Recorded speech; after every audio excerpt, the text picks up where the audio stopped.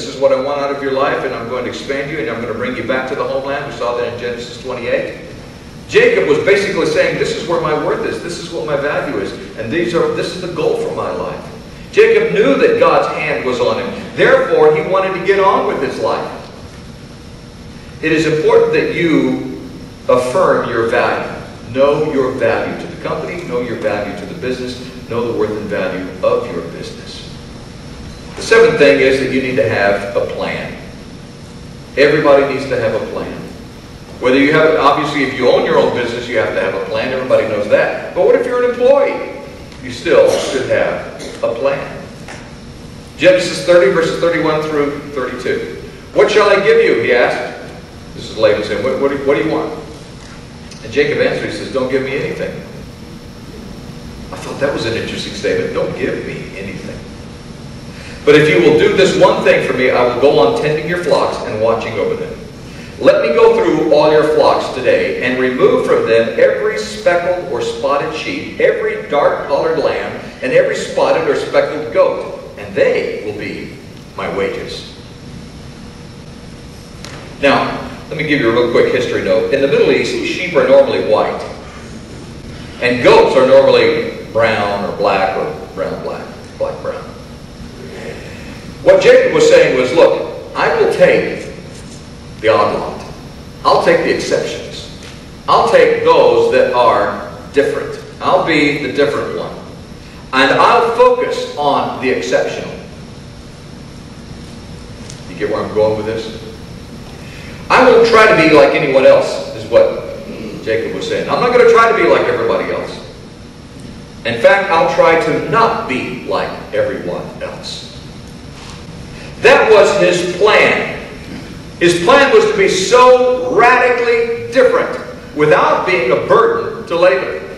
Because see, Laban didn't want those lands.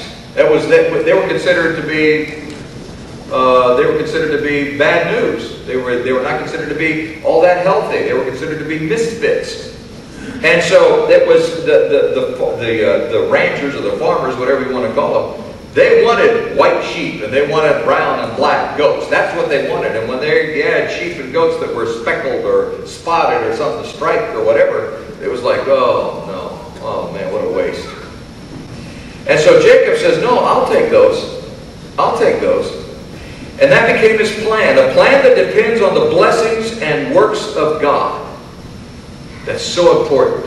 When you build a plan for your life, I would suggest that you build a plan to be exceptional. To be exceptional. And that not only will you be exceptional, but it is completely dependent on the blessings and the provisions and the works of God. That's not a timid lifestyle. In fact, it's a very bold lifestyle. And this was such an act of faith on Jacob's part. He was saying, look, I'll take the exception to the rule, and I'll build my life. That will be my wage. I'll take that which you don't want, and I'll build a life out of it. Now, I, I want to say something that, that will, will help you understand this even, even to a greater extent. And that is, uh, well, really a couple of things. First of all, you need a plan that defines what your success is going to be. It's not just a plan like, okay, from, you know, my goal is, you know, in, in, in 30 days I'm going to accomplish this, and then you know, I, I, go to these seminars and they say, well, you got to have a plan, and in 30 days you got to be here, and a year you got to be here, and five years you got to have a five-year plan, and so forth and so on. Those are all well and good. They're okay. But what Jacob is talking about here is a plan that defines success. He's not saying this is where I want to be. He's saying this is what is going to be success for me. And it is a plan that is completely dependent on God. Jacob wasn't being vague or ambiguous about his plan. He wasn't saying, okay, well, within the parameters, I would like to take, uh, you know, 12 sheep, and then over the period of two years, I'd like to have 36 sheep. You know, he wasn't doing, he wasn't, he wasn't just kind of like throwing numbers out and just kind of being, you know, because numbers can lie. He had a plan for success that clearly defined the results. The results were, I am going to take these sheep, the ones that you don't want, and I'm going to build a life out of that. And if I fail, then that will be that will be the reason. But if I succeed, that will be the reason. A plan, you need to have a plan that actually defines what your success is going to be. How do you define the success? The second part of it is that you have to have a plan that starts where you are. A plan that starts with what you have. It's interesting to note that they were able to pick out all of these odd sheep and goats in one day because there were so few. Now remember, Jacob had been working for him for 14, at this point probably 15 years. And there were a lot of sheep and a lot of goats. But in one day, they were able to pick out the misfits, the ones that Laban didn't want. That's how good Jacob had been. That's how, that's how successful Jacob had been for Laban. There weren't a whole bunch of misfits. There weren't a whole bunch of these spotted lambs and, and miscolored goats. He was able to pick them all out in one day. Start with what you have. Jacob knew exactly what he had to start with. And he didn't borrow any goats. He didn't borrow any sheep. He just started with what he had. Have a plan that's realistic, that starts with what you have, not with what you don't have. You don't need to, you don't need to, you don't need to be setting goals for yourself. Okay, when I get to this point, then I'll start. No, start with where you are. Start with what you have. That is where your plan begins. The eighth thing that we see about Jacob, and it was a principle for his success, is in verse 33, and that is have integrity. Have integrity. Verse 33, and my honesty, the word for integrity, will testify for me in the future. Whenever you check on the wages you have paid me, any goat in my possession that is not speckled or spotted, or any lamb that is not dark colored, will be considered stolen. He said, You know me. You know my integrity. And I can just tell you right now, in the future, you can come and check my herd anytime. And you check the herd, and if you see any speckled sheep, or if you see any spotted goats or anything like that, you'll or, uh, white sheep or, or pure black or pure brown goats, if you see that, you'll know that they've been stolen. They're not mine. They're yours. He was speaking from a standpoint of integrity. He was saying, look, this is what I will, this is how I'm going to run my business with integrity. And you can check on it, and you can follow up, and I expect you to check on it and follow up. I'll tell you, this integrity thing is a character that is sadly, sadly lacking in our society today.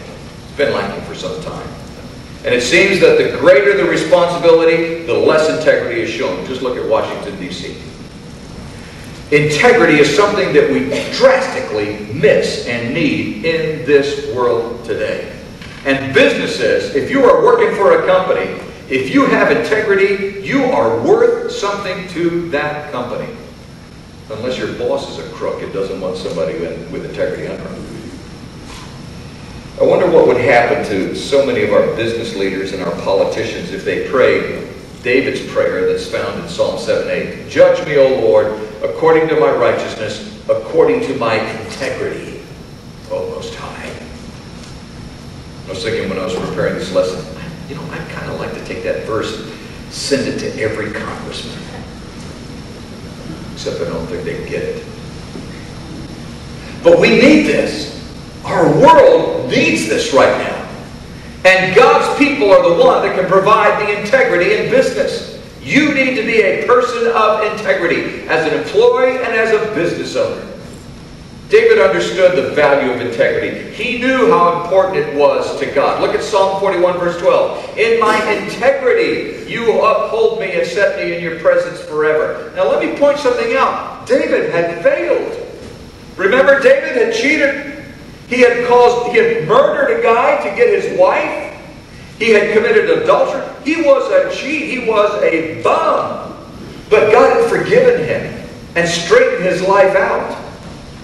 Now, it's real easy for us to go, oh, well, you know, isn't that great that God straightened his life out? And because we're separated from it. But if you had been part of his life, would you have been able to forgive him? God got a hold of him and forgave him. And he became a man of integrity, a man of great integrity. I'm here to tell you that even though you've had a life that has caused some problems and a life of sin and a life that has really, really destroyed not only you, but maybe even some other people, God can forgive you and you can live a life of integrity from this point on. God says, I'm looking for integrity. I'm looking for a remarkable change in people's lives that's different from the world. Integrity. The Bible has a lot to say about this critically important character trait, and I want to read just a few verses. Proverbs 10:9. The man of integrity walks securely, that he who takes crooked paths will be found out. Proverbs 11:3. The integrity of the upright guides them, but the unfaithful are destroyed by their duplicity. Titus 2, verses 7 and 8. In everything, set them an example by doing what is good. In your teaching, show integrity. Seriousness and soundness of speech that cannot be condemned, so that those who oppose you may be ashamed because they have nothing bad to say about us. Integrity. The Hebrew word for it means to be full of simple uprightness to be full of simple uprightness. In other words, to do what is right because it's right.